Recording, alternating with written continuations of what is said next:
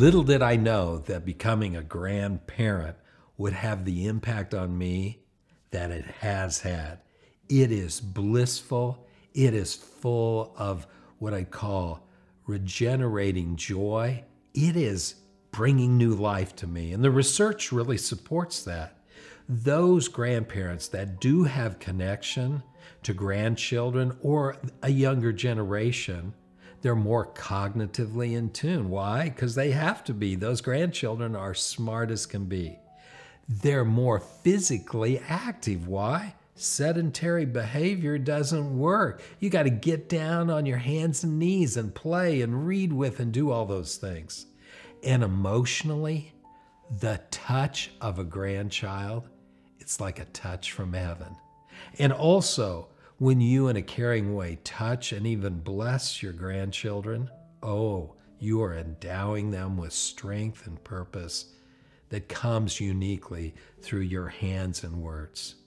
As a grandparent, I believe we can change the course of history.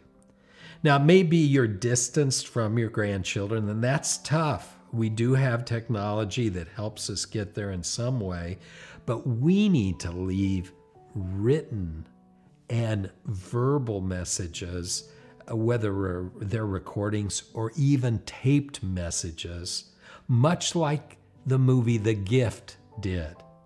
As here, a grandfather left his last words and hopes in a will through a video testimony. What we're about in family legacy videos is helping you in that process because you have stories, you have living history that's going to make a difference. And I believe recording those in a way that will be lasting and can be viewed over and over is a difference maker. Do you know resiliency is an important factor in adolescent growth? In one study, it was found that if teens have awareness of their family history and the whys and the wherefores, it builds resiliency in their outlook in life. Yes, scientific studies look at this resiliency factor. So you're depriving an opportunity to give resilience to your grandchildren by just sitting back and saying nothing. Now, it doesn't mean you have to go and tell deep, dark secrets, but there are things that you know that they need to know. And it can be as simple as how you grew up, your first house and how it was arranged, your interactions with their parents, things that you would do differently.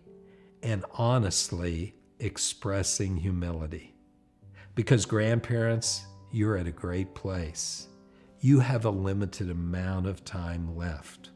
Why not, in a humble, uh, engaging way, share your hopes and dreams? And if there's rights that needed to be um, uh, brought out from wrongs and decisions you have made, and what parent has been a perfect parent, uh, I can't think of any then putting those out will only engage your children to open the door to your grandchildren because they see that humility and, and know that there's something valuable gained by having access. I look forward to hearing your story, and I believe you codifying it will make a difference and begin a legacy that's long overdue. That's what we believe at Grandkids Matter because they do. And you putting those historical points down in ways that make a difference will help them in many ways. Grandparents, there are a few things that I would encourage you to do, and it's simply this make a written and a video record of something that you want to pass on to your children and grandchildren. It's an heirloom that will have value long after you're gone. And it's very easy to do. Not only do we believe it, but we've provided a process for you to act on that will help you get the very best of what is in your heart and life to send down the line. I can't think of any better gift than you recording those thoughts and words in a way that will have long term impact. I've done it, and I encourage you to do the same.